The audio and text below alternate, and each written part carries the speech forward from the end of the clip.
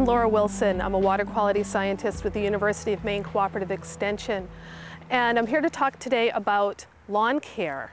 Now, lawn care is a spring ritual for many people in Maine, but the way we care for our lawns may not be healthy for our water resources, our lakes, streams, and ponds, and it might not actually be the best way to care for our lawns. For example, the best time to apply fertilizers is actually around Labor Day weekend, not in early spring. If you apply in early spring, a lot of that fertilizer nutrient can run off and get into our local waters and cause some pollution issues.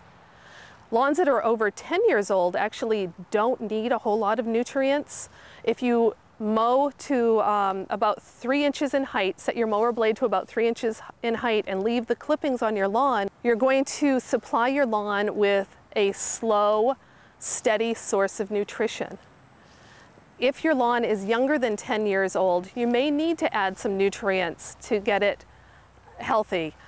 But you want to be really careful about how much you apply. Nitrogen, which is the first number on that fertilizer bag, you only need to apply 2 pounds per thousand square foot of lawn per year. And if you want to help you want help in finding out how much that is, you can visit our website and we'll link you to some more information.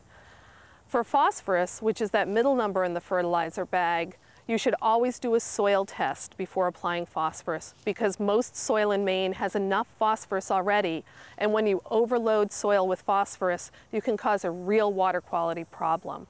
You can also apply phosphorus-free fertilizer. Look for the bags that have a zero as that middle number.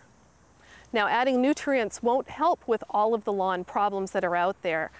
It won't help with pests, diseases, or weeds. So it's best if you have a problem area to contact your University of Maine Cooperative Extension office for identification and help in treating those lawn problems.